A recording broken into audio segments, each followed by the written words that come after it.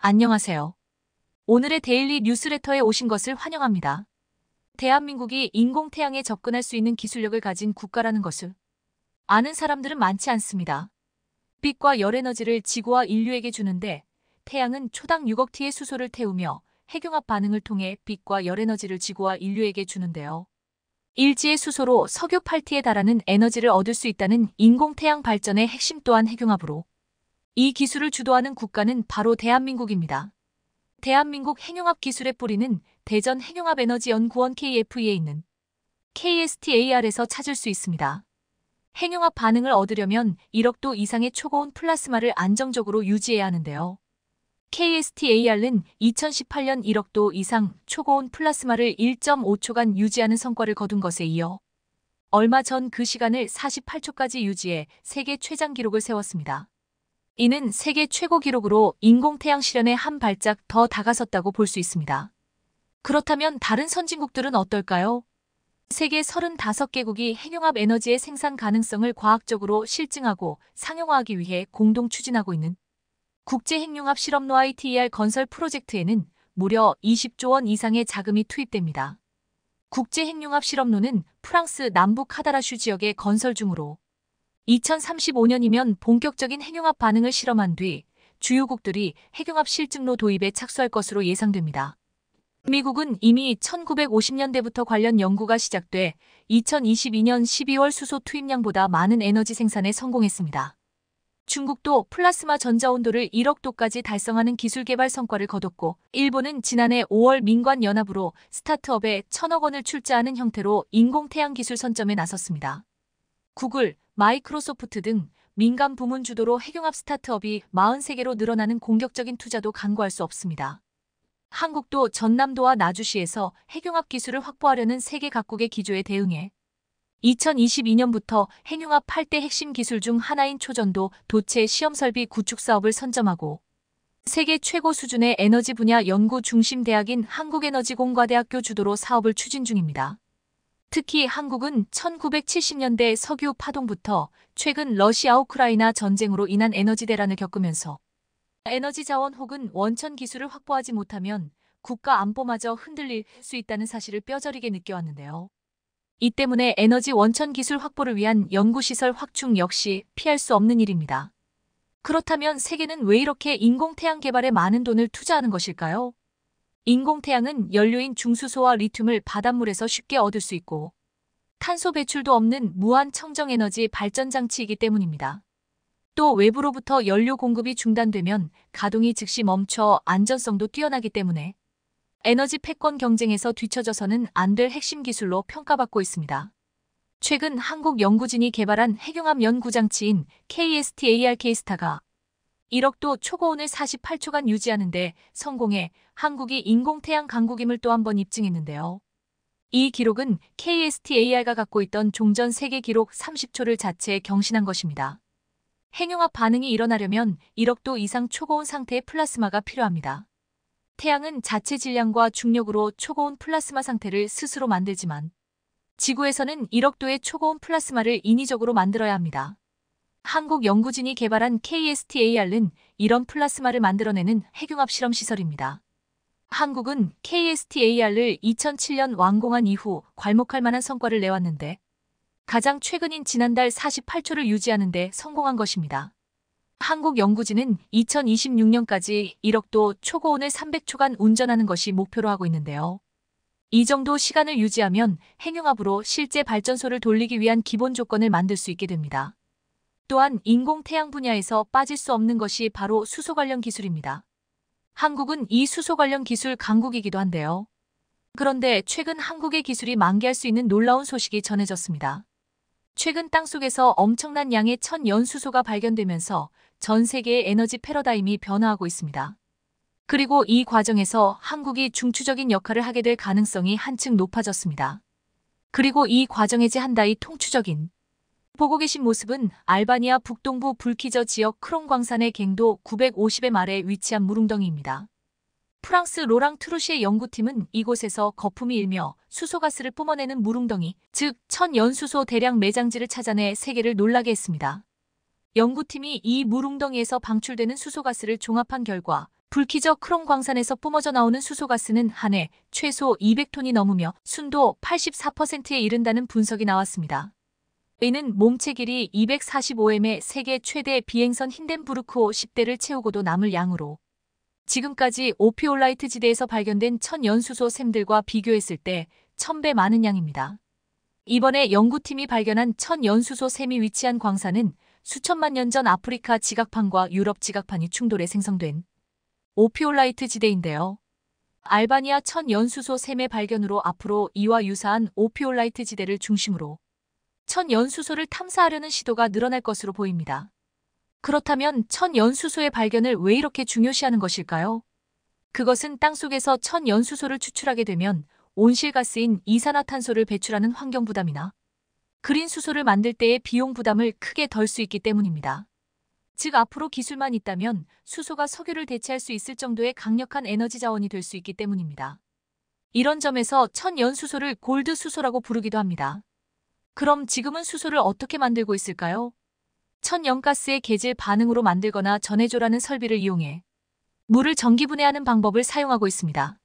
하지만 천연가스의 계질 반응로 만드는 것은 생산비가 저렴하지만 더럽고 전해조라는 설비를 이용해 그린 수소를 만드는 방법은 깨끗하지만 너무 비싼 게 문제였습니다. 그런데 이번에 알바니아 물웅덩이에서 발견된 천연수소, 즉 지하 저장고에서 수소를 뽑아내기만 하면 된다면 어떻게 될까요?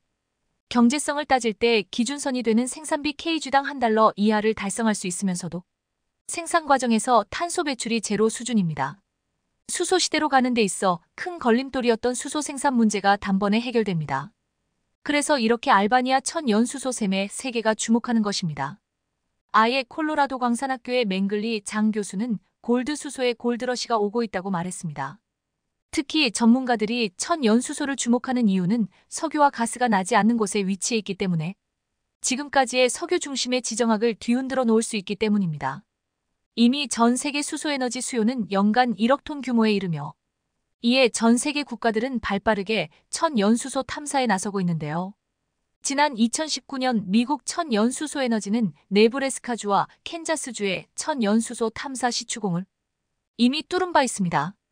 전 세계 지하에는 최대 5조 T의 수소가 존재한다고 하는데요. 이 중 몇 퍼센트만 회수하면 연간 5억 T에 달하는 모든 예상 수요를 수백 년 동안 공급할 수 있습니다. 다들 찾고 싶어하는 천 연수소의 사우디아라비아는 과연 어디가 될지 수소 골드러시가 시작된 가운데 한국에서도 한국석 유공사가 지하에 부존된 수소 탐사를 목표로 다양한 토양가스를 측정하고 관련 기술에 대한 특허를 출원했습니다. 한국석 유공사가 특허 출원한 자연수소 탐침 장치는 토양에 장치를 삽입해 지하에서 발생하는 수소 기체를 측정하는 것으로 별도 필터와 배수 시스템을 이용해 토양 수소 측정에 가장 큰 제약 요인인 물에 의한 영향을 최소화한 것이 특징입니다. 이 기술을 통해 석유공사는 앞으로 주도적으로 유망 지역 발굴과 중장기 분석을 실시할 계획입니다. 뚜렷한 가슴을 갖고 있으리 이처럼 한국이 인공태양과 천연수소 탐사 등에서 뚜렷한 기술을 갖고 있음이 드러나자 최근 한국과 불편한 관계를 언급하던 러시아까지도 차세대 에너지 분야에서 한국의 손을 내밀었습니다. 한국의 핵융합 실험을 제안한 것입니다. 이것은 앞으로 에너지 대변환에서 한국의 기술력이 경쟁력을 가졌다는 것을 입증한 것인데요. 최근 타스 통신은 러시아가 국제 공동과학 프로젝트인 국제핵융합 실험 로ITER 관련 재료를 실험하기 위해 조만간 한국과 논의할 예정이라고 보도에 눈길을 끌었습니다. 조만간 한국과 논의할 예정이라고 보도에 눈길을 끌었습니다. 국제핵융합 실험로의 핵융합로 가장 안쪽 벽인 제1벽에 쓸 혁신적 물질 실험에 한국 전문가들과 논의할 계획이라고 밝혔습니다. 이어 러시아에서 실험을 마친 뒤 다음 단계 실험을 한국에서 하는 방안이 협의될 것이라고 것이라고 덧붙였습니다. 이는 상당한 의미를 갖게 됩니다. 러시아에서 1차 실험을 통해 검증을 마친 다음 다음 실제 개발과 양산 관련된 기술은 한국과 협업이 필요하다는 것을 러시아 측에서 인정한 것이기 때문입니다. 러시아는 과거 축적한 우주와 핵 관련 최첨단 원천 기술을 가지고 있습니다. 하지만 이를 양산, 개발하는 역량은 매우 부족합니다. 러시아 입장에서도 이 부분이 한국과 맞아떨어지는 것입니다. 국제핵융합 실험로는 프랑스의 건설을 추진 중인 핵융합 시설로 평화적인 목적으로 핵융합 에너지를 얻을 가능성을 실증하기 위해 불화적인 목적으로 한국, 러시아, 미국, 중국, 일본 등이 개발에 참여하고 있습니다. 극을 선택했다는 것은 분 이런 가운데 러시아가 핵융합 파트너로 중국이 아닌 한국을 선택했다는 것은 분명 의미가 있습니다. 중국, 일본 등이 인공태양 기술 선점을 위해 천문학적 투자를 하고 있는 지금 한국의 행보에 세계가 주목하고 있습니다. 대한민국의 반도체 기술이 엔비디아를 제치는 엄청난 한방을 가격해 반도체 업계가 난리가 났습니다. 최근 한국이 미래 반도체 핵심 기술을 선점하면서 초격차 경쟁력 확보가 가능해진 건데요. 글로벌 반도체 업계 치열한 경쟁으로 핵심 기술 인재 유출이 이어지고 있는 상황에서 엄청난 희소식이 전해져 업계가 들썩이고 있다는데 자세히 알아보겠습니다. 앞선 영상에서 소개해드린 것처럼 최근 전 세계적으로 AI 반도체 전쟁이 불붙으면서 반도체 인력 유출이 점점 노골적으로 깊숙이 진행되고 있는 상황인데요. HBM 기술 개발 경쟁에 불이 붙으면서 메모리 반도체 강국인 우리나라의 인력 유출 우려도 커지고 있습니다. 인공지능 AI 서버에 탑재되는 고대역폭 메모리 HBM은 D램 여러 개를 수직으로 연결해 데이터 처리 속도를 혁신적으로 끌어올린 반도체로 제작에 최첨단 기술이 필요합니다. 그런데 최근 인공지능이 주목을 받으면서 HBM과 같은 고성능 메모리 반도체 수요가 급증하고 있는 상황입니다. SK 하이닉스가 가장 먼저 양산에 성공했고 삼성과 마이크론, 중국 창신 메모리가 뛰어들면서 전 세계적으로 기술 경쟁이 뜨거운데 문제는 이 과정에서 인력 빼가기를 통한 불법 기술 유출이 잦아지고 있다는 점입니다. 최근에는 마이크론 임원이 된 SK 하이닉스 전 연구원 어씨에 대한 전직 금지 가처분이 인용되면서 마이크론에 대한 경계감이 커지고 있는 중입니다. SK 하이닉스 HBM 설계를 주도해오던 핵심 인물이 경쟁사인 마이크론에 이직했기 때문인데 실제로 그는 3차원 적층 HBM 원천 기술 확보에 결정적 역할을 했던 것으로 알려지며 뒤통수를 제대로 쳤습니다.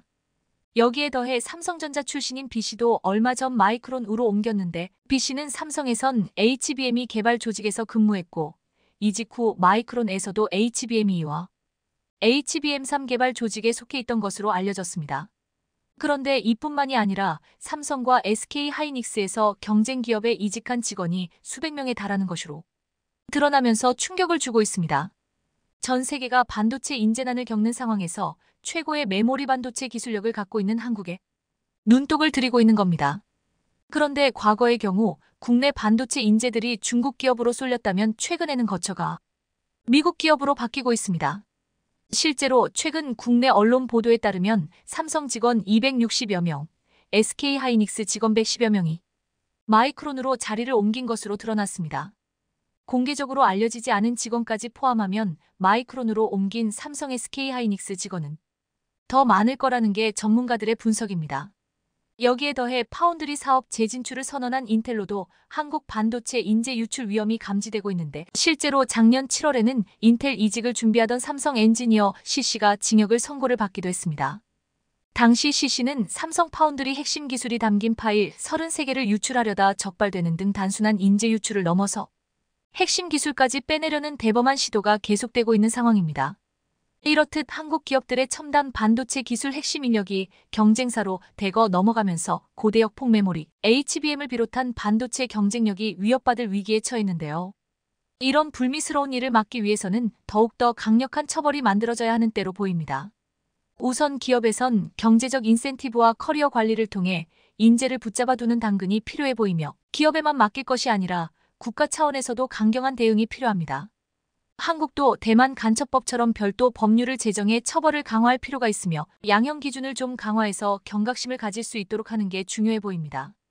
최근 대법원 양형위원회가 국가 핵심 기술을 국외로 빼돌릴 경우 최대 징역 18년형까지 선고하도록 하는 방안을 마련해 이달 말 확정 지을 예정인데 모쪼록 강력한 처벌이 있어야 할 것 같습니다. 그런데 최근 국내 연구진이 엔비디아 AI 반도체의 625분의 1의 전력을 쓰는 제품을 개발해내며 반도체 업계에 말 그대로 쇼킹을 안겨줬습니다. KAIST 연구팀이 최근 세계적으로 수요가 급증하고 있는 L 반도체를 자체 개발했는데 엔디비아보다 전력을 적게 쓰면서 심지어 크기는 더 작다고 하는데요. 이에 따라 사람과 대화하고 각종 정보를 찾아주는 GPT 같은 거대 언어 모델 LLM AI를 배터리 소모 걱정 없이 스마트폰으로 장시간 사용할 수 있는 기반이 마련됐다며 들썩이고 있습니다. 반도체 업계에 따르면 최근 유해준 KAIST 인공지능 반도체 대학원 교수팀이 초전력 초고속 AI 반도체의 핵심 기술인 상보형 트랜스포머를 세계 최초로 개발했습니다. 성능이 뛰어나면서도 전기는 매우 적게 사용하는 AI 반도체를 개발한 겁니다.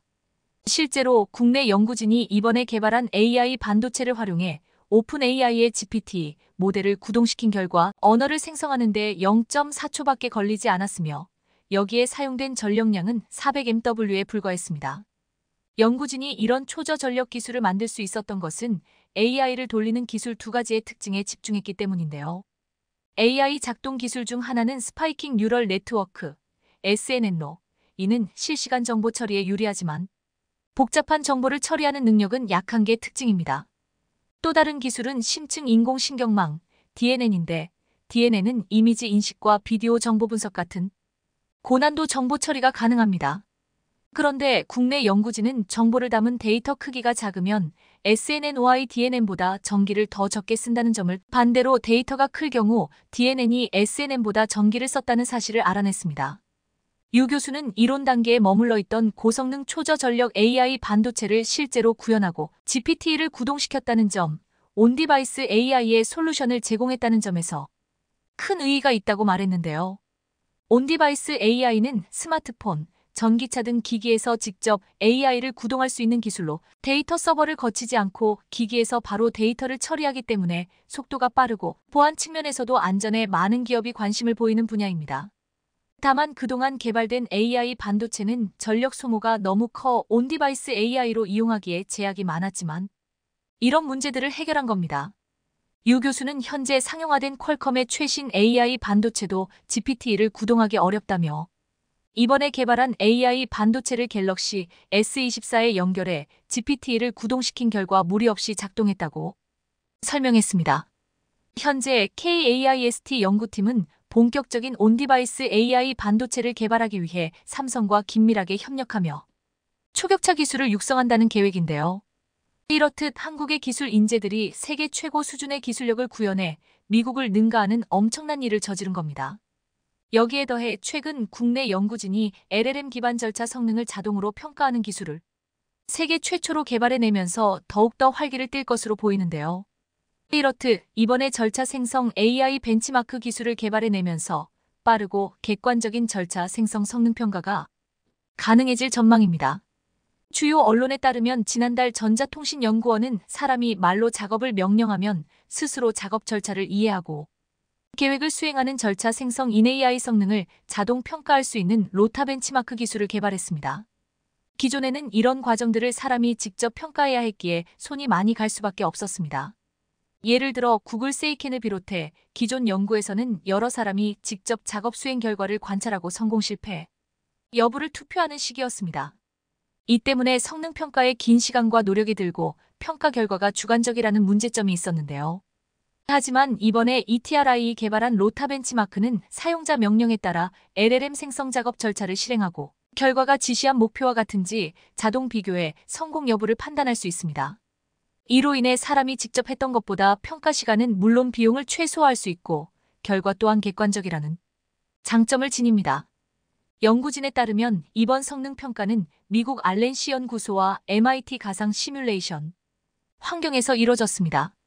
전자레인지에 차갑게 식힌 사과를 넣어라는 일상적인 가사 작업 지시 명령을 내리고 각 작업 절차를 포함하는 데이터셋으로 평가한 것으로 전해집니다. 이번 기술 개발로 LLM을 이용한 로봇 작업 계획의 기술 성능 평가 시간은 물론 비용을 대폭 줄일 수 있을 것으로 기대되고 있는데요. 이런 가운데 최근 정부에서도 AI 반도체 지원에 나서는 등 민관 원팀을 만들어 반도체 정책 설정과 추진에 속도를 내고 있는 중이라고 합니다. 여기에 더해 국내 4대 그룹 중 유일하게 공채를 진행하고 있는 삼성도 올해 상반기에만 만 명에 달하는 인력을 대거 수혈할 것으로 보이면서 반도체 인력 확보에 열을 올리고 있는데요. 글로벌 빅테크 기업들이 인력을 감축하고 있는 가운데도 삼성은 창업부터 이어온 인재 제일 경영 철학을 고수하며 올해도 대규모 채용 기조를 이어가는 겁니다.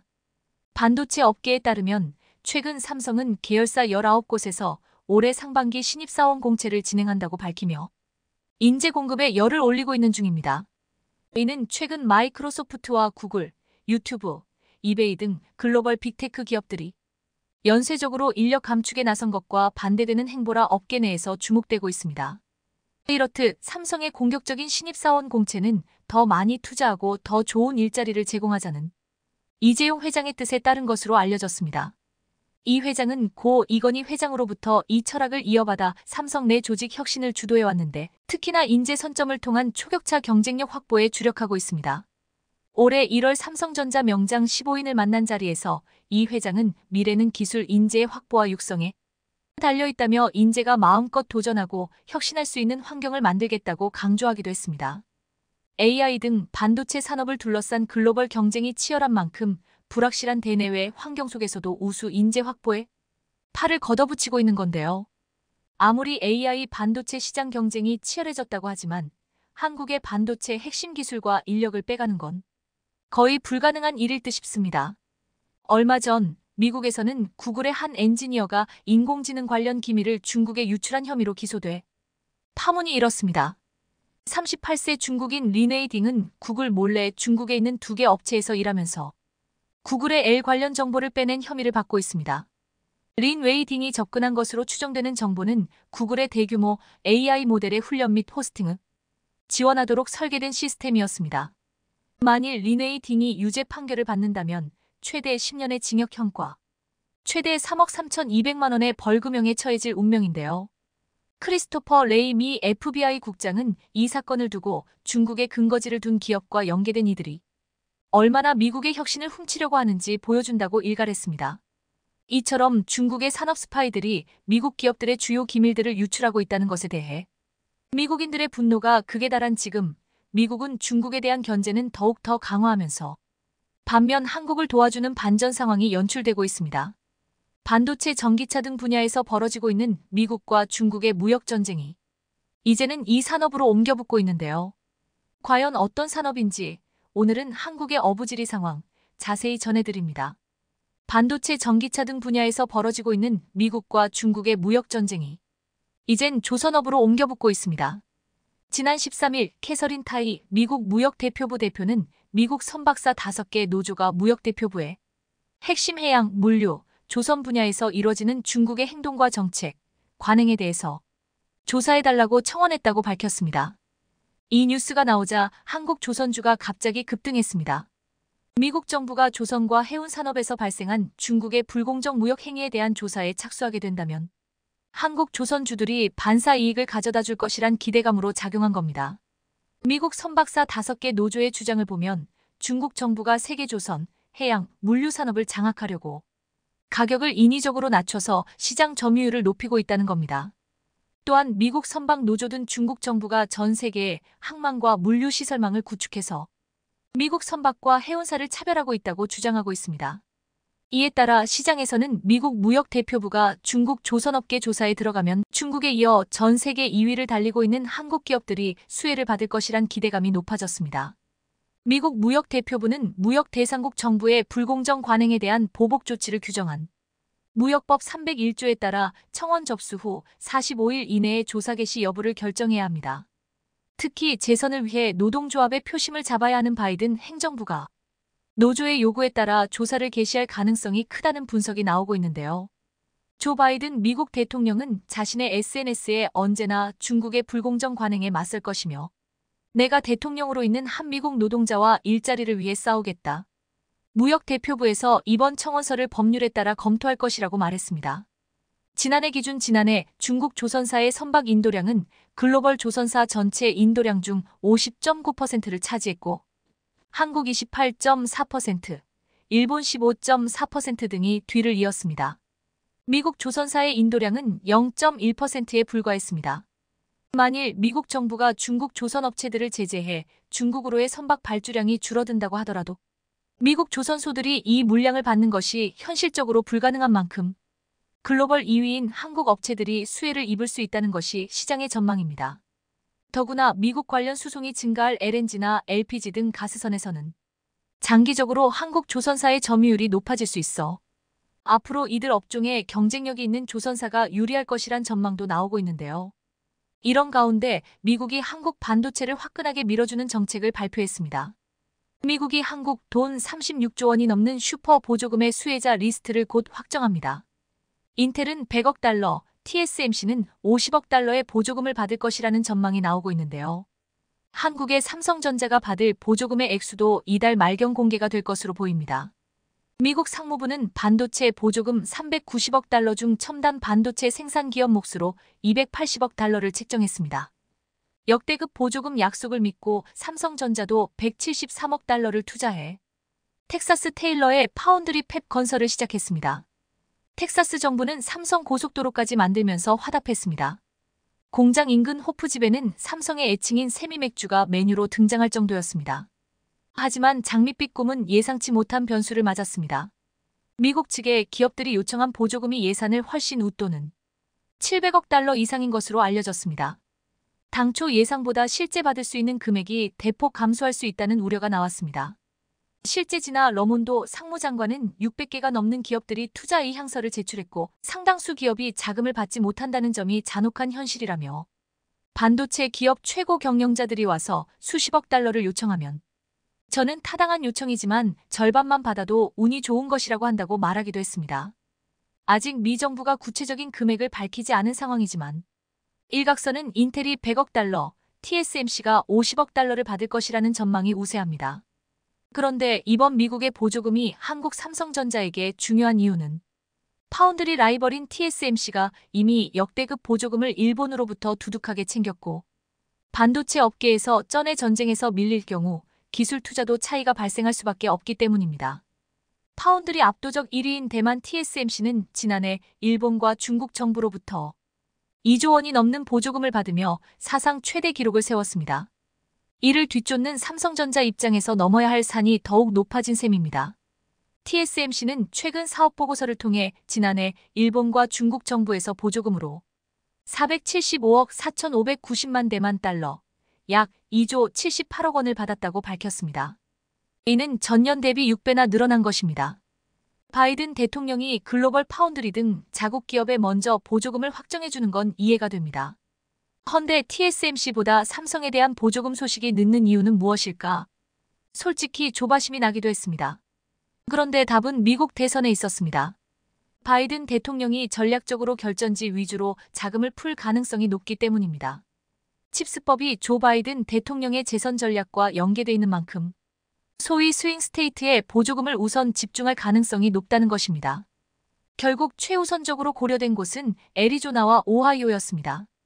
애리조나는 2020년 대선 당시 바이든 대통령이 도널드 트럼프 전 대통령에 불과 1만 표 차이로 어렵게 승리한 곳이기 때문입니다. 또한 애리조나와 오하이오에는 인텔과 TSMC 공장이 건설되고 있습니다. 그래서 인텔과 TSMC에게 지급될 보조금이 먼저 발표된 것이었습니다. 반면 삼성전자는 공화당 우세 지역인 텍사스에 공장을 짓고 있습니다. 바이든이 크게 매력을 느낄 수 있는 지역은 아니죠. 그래서 초조히 기다리고 있을 무렵 블룸버그가 이런 보도를 했습니다. 미국 정부가 삼성전자의 추가 투자에 60억 달러, 즉 7조 9천억 원 이상의 보조금을 지급하기로 예비적 합의를 했다. 미국 정부가 삼성전자가 이미 발표한 텍사스 공장 건설 외에 추가로 미국 내 사업을 확장할 수 있도록 지원할 방침이라는 것이었습니다. 이 보도가 나오자 글로벌 반도체 시장은 깜짝 놀랐습니다. 만일 정말 이대로 된다면 TSMC보다 오히려 10억 달러 이상 많은 금액이니까 말입니다. 60억 달러라면 삼성이 짓고 있는 반도체 공장 170억 달러 투자금의 3분의 1 수준입니다. 여기에 세액 공제 등을 더하면 절반 가까운 금액을 보존받을 수 있게 되는 셈입니다. 삼성전자는 2021년 기존 텍사스주 오스틴 공장 외에 텍사스주 테일러에 170억 달러를 들여 신규 공장을 건설하겠다고 밝힌 바 있는데요. 소식통들은 해당 지원금이 삼성전자의 상당 규모 추가 투자와 함께 발표될 예정이라면서도 아직 추가 투자 위치는 명확하지 않다고 전했습니다. 미국 상무부는 반도체 기업의 미국 내 설비 투자를 장려하기 위해 반도체 지원법에 따라 반도체 생산 보조금, 연구개발 지원금 등을 지원하고 있는데요. 총 390억 달러 가운데 TSMC와 삼성전자 등 첨단 반도체 생산 기업을 지원할 용도로 280억 달러를 배정했는데 이들 첨단 반도체 기업들이 요청한 자금이 총 700억 달러를 넘어 고민하고 있다는 소식까지는 들렸는데 그래서 결국 삼성에 얼마를 지급하느냐가 초미의 관심사였습니다. 블룸버그는 월말까지 아직 많은 변수는 남아있다면서 여지를 남겼는데요. 실제로 K반도체가 미국으로부터 든든한 실탄을 확보할 수 있을지 남은 심여일 최종 귀추가 주목됩니다. 미국이 이렇게 삼성전자에 상당에게 보조금을 지급하기로 예비 합의를 했다는 보도까지 나오자 오픈 AI의 샘 올트먼은 삼성전자와 SK 하이닉스를 치켜세우며 인공지능 AI 반도체 생산을 위해 협업하고 싶다고 말했습니다. 최근 올트먼 CEO는 AI 반도체 생산을 위한 파트너를 물색하고 있는데요.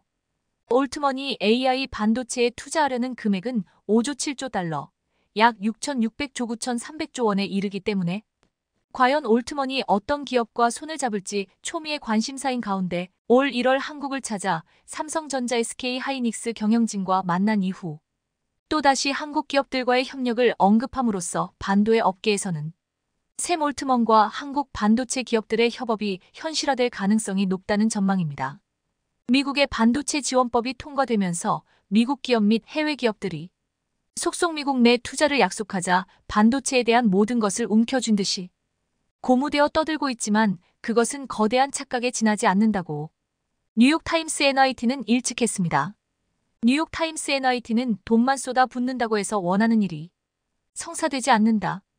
고하면서 반도체 지원법이 겉으로 보기에는 대단한 것처럼 보이지만 실제는 미국의 대규모 반도체 옥성 투자 정책에도 불구하고 공급량 해소 외의 근본적인 원인은 해결된 상태가 아니기 때문에 여전히 한계가 있다는 것입니다.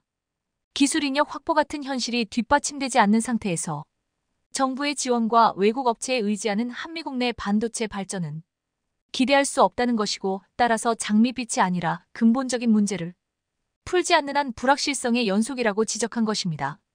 미 반도체 산업협회 SIA에 따르면 미 전역에서 35개 이상의 미국 및 해외 반도체 기업이 미국 내에서 반도체를 생산하겠다며 2천억 달러 약 252조 6천억 원 투자를 약속한 것은 제2차 세계대전 이후 최대 규모 제조업 투자라고 NIT는 보도했습니다.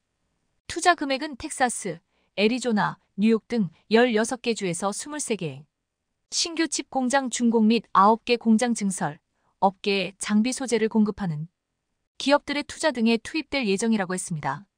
그런데 이 같은 투자건은 대부분 연방과 주정부의 지원금에 우선 무게를 두면서 얼마의 지원금이 나오면 그에 더해 투자하겠다는 것이지 반도체 관련 기업들이 스스로 투자하겠다는 것이 아니라는 것입니다. 또한 기존의 확장 계획이나 관리 비용이 투입되는 것까지도 새롭게 투자하는 것처럼 부풀리고 있다는 지적도 있습니다.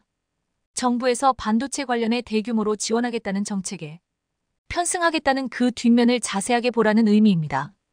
최근 치버 반도체 전쟁을 출간한 미 터프츠대 크리스 밀러 교수는 NIT에 직접적으로 미 정부의 엄청난 투자에도 반도체 자립을 달성하는 데엔 성공하지 못할 것이라고 했습니다.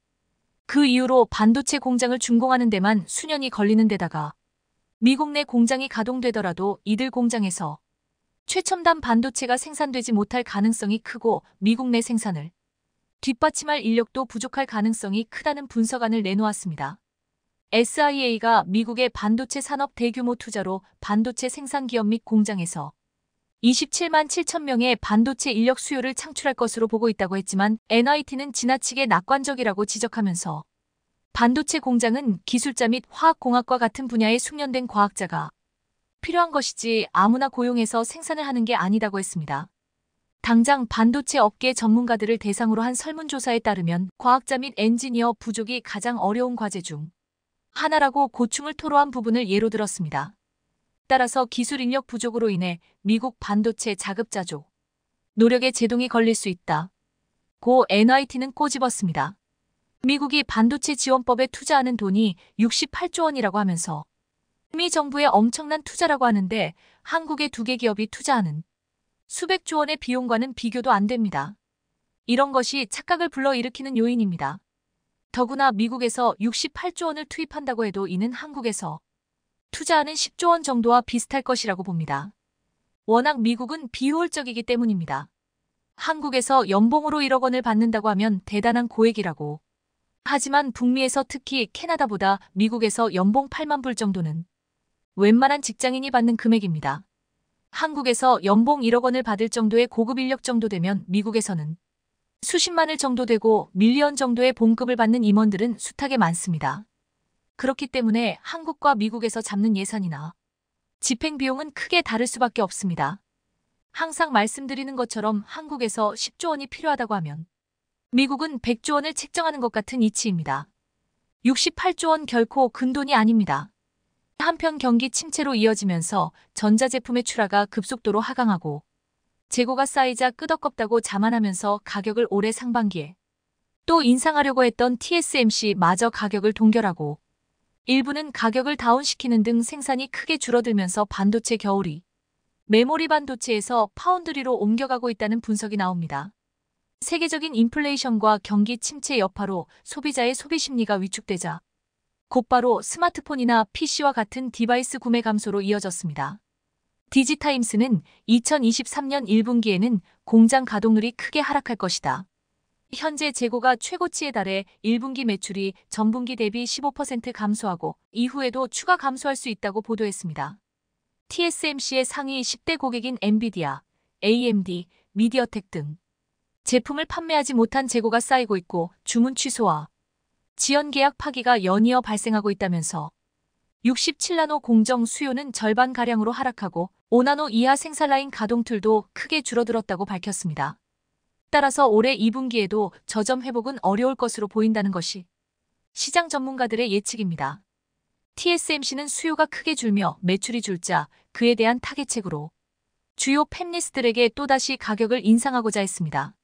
지난해 9월 맥루머스, 나인투맥 등 외신은 TSMC가 2021, 2022년에 이어 2023년 파운드리 가격을 또 올리려고 한다는 당시 보도 내용에 따르면 TSMC는 저가격의 애플과 엔비디아의 56% 정도 인상된 가격을 적용하고자 시도했지만 애플은 삼성전자의 가격을 들어 즉각 반발하면서 TSMC는 결국 가격을 올리지 못했습니다. 그런 TSMC 대응에 비해 삼성전자는 당분간 파운드리 가격을 조정할 계획이 없다. 고 밝혔습니다. 강문수 삼성전자 파운드리 사업부 부사장은 지난달 28일 실적 발표 컨퍼런스 콜에서 삼성 파운드리는 견조한 수요가 지속하고 있다고 하면서 향후 증장기 시장, 글로벌 거래 수요 등을 다각적으로 분석해 대응하겠다라고 했습니다. 그럼 반도체 업계의 현황이나 반도체 매출의 급감에도 불구하고 삼성전자는 생산을 줄이거나 구조 조종토 없이 최첨단 반도체 생산 기술인 3NM 공정 안정화에 속도를 내고 있는 모습입니다. 희 EUV 극자외선 노광 장비의 수율을 비약적으로 높일 열쇠 중 하나로 언급되는 핵심 장비 펠리클 PEL LICL이 올해부터 삼성전자 최신 공정의 테스트로 적용되면서 TSMC와의 경쟁 구도에서 우위를 차지할 수 있을 것이라는 전망이 나옵니다. 29일 반도체 업계에 따르면 그동안 투과율 90%를 뛰어넘어 경이적인 94%를 목표로 연구개발에 투자해온 SNS텍은 현재 목표치에 거의 근접한 상함으로 올해 상반기부터 삼성전자의 요구 사양을 맞출 수 있다는 것이 거의 확실시 되고 있는 것으로 알려지고 있습니다. 회사 내부 사정의 밝은 관계자는 펠리를 양산을 위한 공장 설립이 거의 마무리 단계이며 장비 발주가 시작된 것으로 알고 있다고 했습니다. SNS텍은 삼성전자가 투자한 소부장 협력사 중 가장 많은 자금을 유치한 기업으로 2019년부터 EUV 시대 전환에 맞춰 EUV용 블랭크 마스크와 펠리클 개발을 진행해 왔습니다. 펠리클이란 반도체 회로가 새겨놓은 유리기판 즉 포토마스크에 초미세한 먼지가 붙지 않도록 보호하는 얇은 필름을 지칭합니다. 호흡을 하면서도 미세먼지나 해로운 물질을 흡입하지 않기 위해 마스크를 쓰는 것과 비슷한 원리입니다. EUV 공정에서 펠리클의 유무 차이는 상당히 큽니다. 반도체 업계 관계자는 EUV 노광 공정은 매우 섬세한 과정인데 특히 회로가 그려지는 포토마스크의 오염이 수율 저하의 큰 원인이 된다고 했습니다. 특히 반도체 회로가 그려지는 포토마스크의 가격이 개당 수억 원을 넘나들기 때문에 투과율이 높은 펠리클을 사용한다면 수울 자체를 끌어 올릴 수 있기 때문에 전체적인 생산 비용을 줄일 수 있게 된다고 설명했습니다. 즉 EUV 장비는 미세한 파장의 빛이 거울에 반사하는 원리로 회로를 그리기 때문에 빛을 일정한 수준으로 유지하는 것이 중요한데 이 과정에서 가장 중요한 것이 바로 펠리클의 투과율이라는 것입니다. 삼성전자는 이런 광원 손실을 최소화하기 위해서 80%가 아닌 펠리클 투과율의 한계를 깬 90% 이상을 주문해온 것으로 알려져 있습니다. 반도체 업계 한 관계자는 현재 투과율 90% 이상의 펠리클은 아직 어떤 반도체 기업도 도입하지 못하고 있다고 했습니다. TSMC도 낮은 생산성을 감수하면서 어쩔 수 없이 80%대예요. 투과율을 가진 펠리클을 사용하고 있다며 삼성전자의 협력사가 투과율 90% 이상의 펠리클을 적용할 거무 TSMC와요. 경쟁에서 더욱 유리한 고지를 점할 수 있을 것이라고 전망하고 있습니다. 자, 오늘도 좋은 하루 보내시기 바랍니다. 감사합니다.